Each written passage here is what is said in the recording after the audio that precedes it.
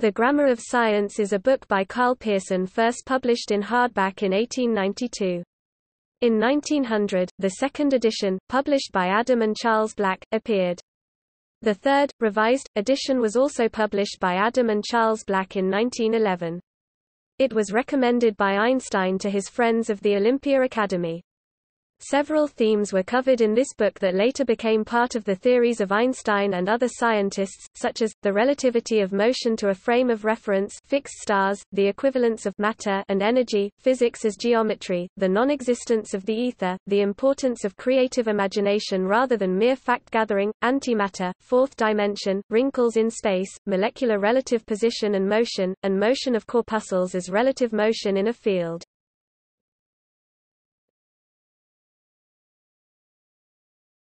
Topic: Chapter 1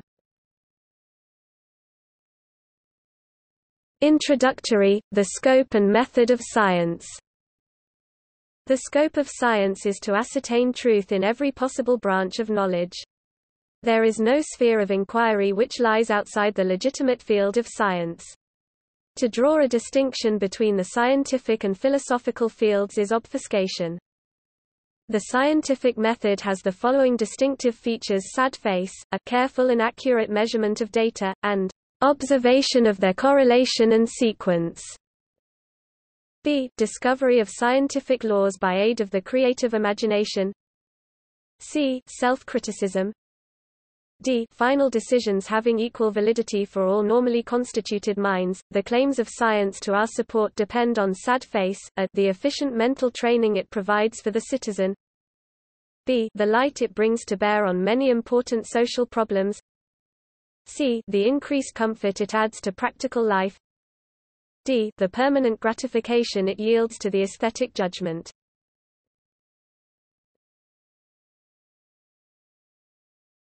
Topic. Chapter 2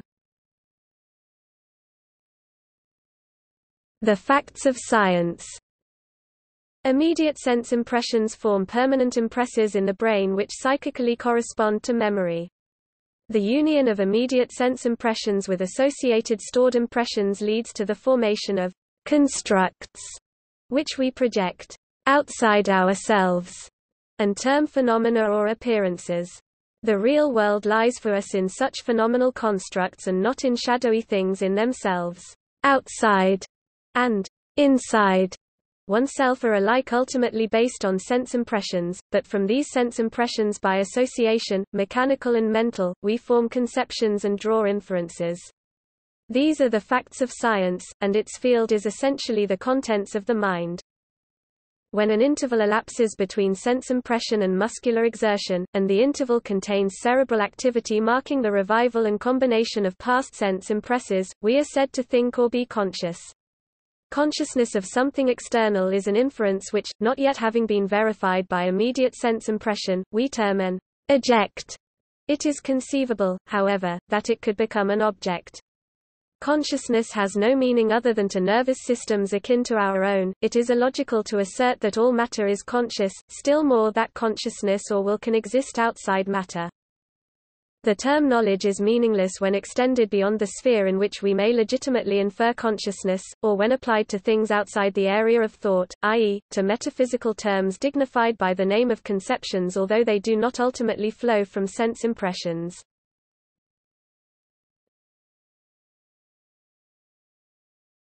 Topic. Chapter 3 The scientific law Scientific law is of a totally different nature from civil law, it does not involve an intelligent lawgiver, a command and a corresponding duty. It is a brief description in mental shorthand of as wide a range as possible of the sequences of our sense impressions. There are two distinct meanings to natural law, the mere routine of perception, and the scientific law or formula describing the field of nature. The reason in natural law is only obvious when we speak of law in the latter sense, and then it is really placed there by the human mind. Thus the supposed reason behind natural law does not enable us to pass from the routine of perceptions to anything of the nature of reason behind the world of sense impression. The fact that the human reflective faculty is able to express the routine of perceptions in mental formulae may be due to this routine being a product of the perceptive faculty itself. The perceptive faculty appears to be selective and to have developed in coordination with the reflective faculty.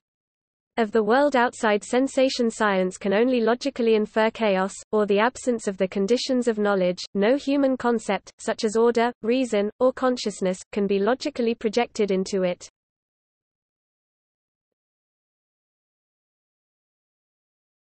Topic. Chapter 4 Cause and effect, probability Cause is scientifically used to denote an antecedent stage in a routine of perceptions.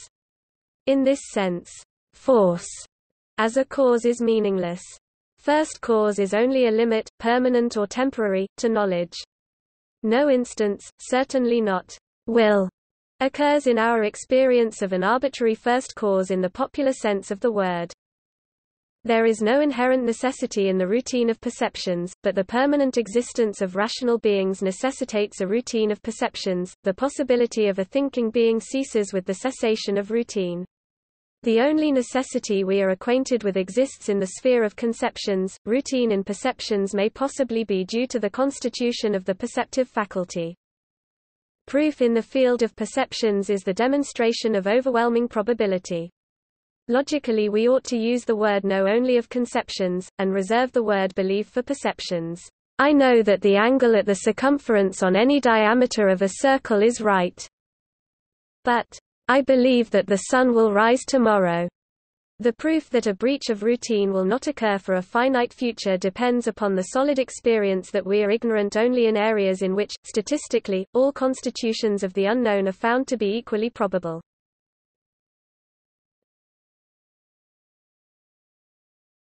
Topic. Chapter 5 Contingency and correlation, the insufficiency of causation Routine in perceptions is a relative term, the idea of causation is extracted by conceptual processes from phenomena, it is neither a logical necessity, nor an actual experience. We can merely classify things as like, we cannot reproduce sameness, but we can only measure how relatively like follows relatively like. The wider view of the universe sees all phenomena as correlated, but not causally related. Whether phenomena are qualitative or quantitative, a classification leads to a contingency table. From such a table we can measure the degree of dependence between any two phenomena. Causation is the limit to such a table, when it contains an indefinitely large number of cells, but in each array only one such cell is occupied. Mathematical function arises when the belt of dots which are the actual result of all experience shrivels up into a curve.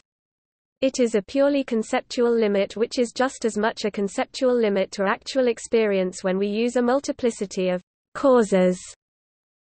The intellectual gain of this contingency category lies in the fact that it sees variation as the fundamental factor in phenomena. Determinatism is the result of supposing sameness instead of a mere classificatory likeness in phenomena. Variation and correlation include causation and determinatism as special cases, if indeed they have any actual existence in regard to phenomena. No experience we have at present justifies us, however, in assuming them to be anything but conceptual limits created by human need for economy of thought, and as little inherent in phenomena themselves as geometrical surfaces or centers of force.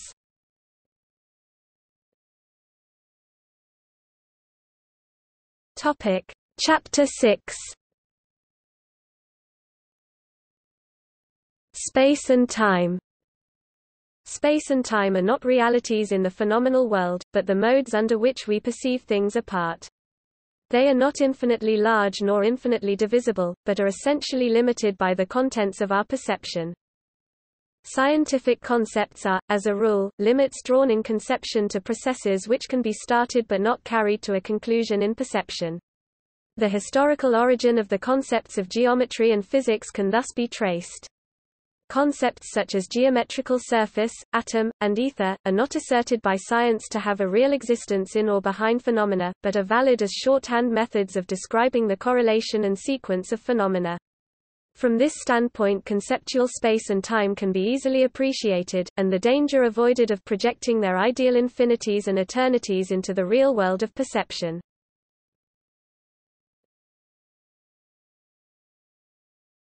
Topic. Chapter 7 The geometry of motion all the notions by aid of which we describe and measure change are geometrical, and thus are not real perceptual limits. They are forms distinguishing and classifying the contents of our personal experience under the mixed mode of motion. The principal forms are point motion, spin of a rigid body, and strain. Motion is found to be relative, never absolute, for example, it is meaningless to speak of the motion of a point without reference to what system is related to the motion of the point. An analysis of point motion leads us to the conceptions of velocity and acceleration. Velocity is a proper measure of the manner in which position is instantaneously changing. Acceleration is a proper measure of how velocity itself is an increased change. It is found that a motion is fully determined. Theoretically, a complete description of the path and position at each instant of time may be deduced when the velocity in any one position and the acceleration for all positions is given.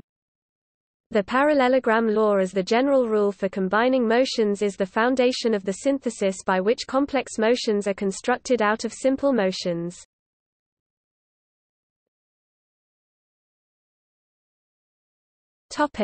Chapter 8 Matter The notion of matter is found to be equally obscure whether we seek for definition in the writings of physicists or of common sense philosophers.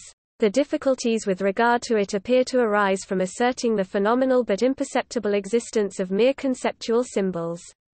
Change of sense impression is the proper term for external perception. Motion is the proper term for our conceptual symbolization of this change.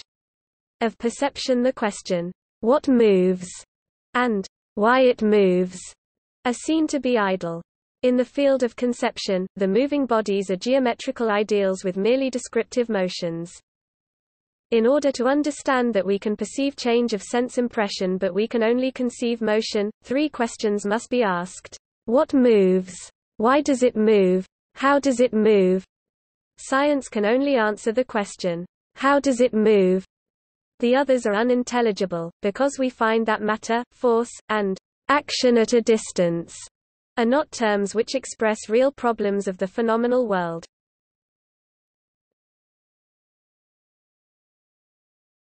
Topic. Chapter 9 The laws of motion The physicist forms a conceptual model of the universe by the aid of corpuscles. These corpuscles are only symbols for the component parts of perceptual bodies and are not to be considered as in any way resembling definite perceptual equivalents. The corpuscles with which we have to deal are ether element, prime atom, atom, molecule, and particle. We conceive them to move in the manner which enables us most accurately to describe the sequences of our sense impressions. This manner of motion is summed up in the so-called laws of motion. These laws hold in the first place for particles, but they have been frequently assumed to be true for all corpuscles. It is more reasonable, however, to conceive that a great part of mechanism flows from the structure of gross matter. The proper measure of mass is found to be a ratio of mutual accelerations, and force is seen to be a certain convenient measure of motion, and not its cause. The customary definitions of mass and force, as well as the Newtonian statement of the laws of motion, are shown to abound in metaphysical obscurities. It is also questionable whether the principles involved in the current statements as to the superposition and combination of forces are scientifically correct when applied to atoms and molecules. The hope for future progress lies in clearer conceptions of the nature of ether and of the structure of gross matter. The general laws of motion are expressed as extensions of Newton's laws. First law, every corpuscle in the conceptual model of the universe must be conceived as moving with due regard to the presence of every other corpuscle, although for very distant corpuscles the regard paid is extremely small as compared with that paid to immediate neighbors. Second law, principle of inertia. Third law, Mutual acceleration is determined by relative position. Fourth law. The ratio of the acceleration of A due to B to the acceleration of B due to A must always be considered to be the same whatever be the position of A and B, and whatever be the surrounding field. Fifth law. The definition of force, the force of B on A is equal and opposite to the force of A on B.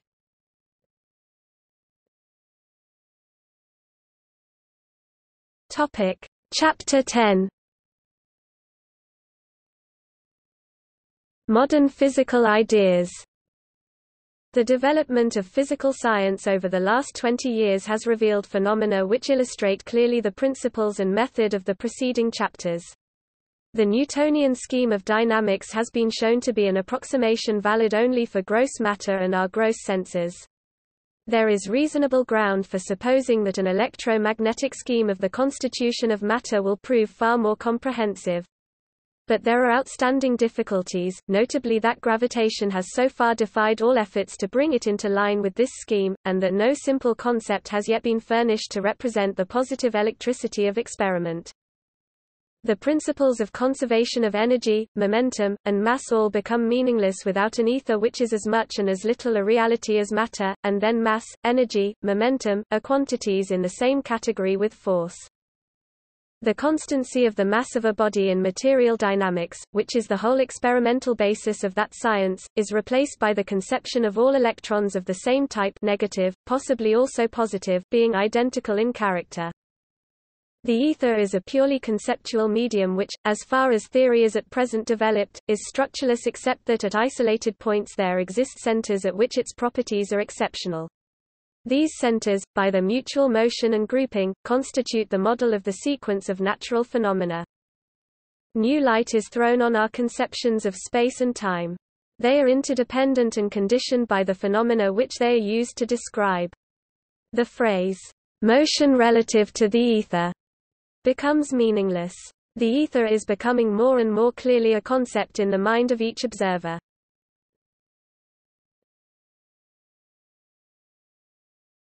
Topic: Editions in print. The Grammar of Science 1892, Dover Publications 2004 edition, ISBN 0-486-49581-7. Topic: Editions online. The Grammar of Science 1900 A and C Black. The Grammar of Science 1900 A and C Black.